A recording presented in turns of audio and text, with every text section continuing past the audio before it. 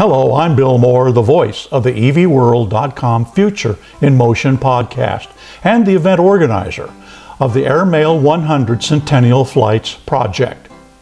100 years ago, this coming September, the U.S. Post Office launched a bold but highly risky venture to fly the mail coast to coast. It would eventually come at a cost of scores of plane crashes and the lives of nearly three dozen young airmail pilots and their mechanics, who would collectively become known as the Suicide Club.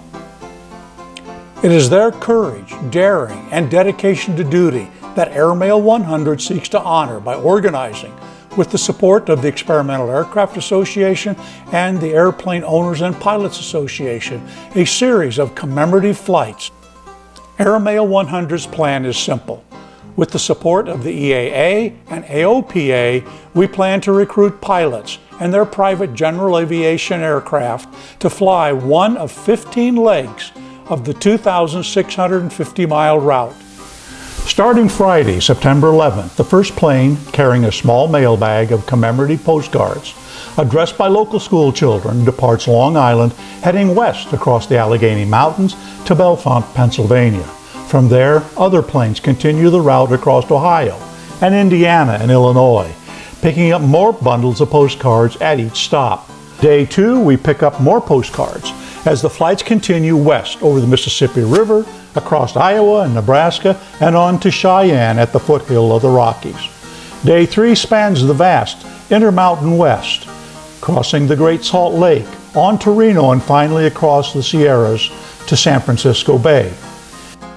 There, the postcards will be delivered to the postmaster to be canceled and mailed to their recipients, creating what we hope will become keepsakes and collectibles to be passed down to future generations. We need your help to spread the word by sharing the Airmail 100 story with your fellow pilots and family members, friends and colleagues, teachers and community leaders. Just as the eventual success of the Airmail service helped excite and unite a war weary, pandemic shaken nation 100 years ago.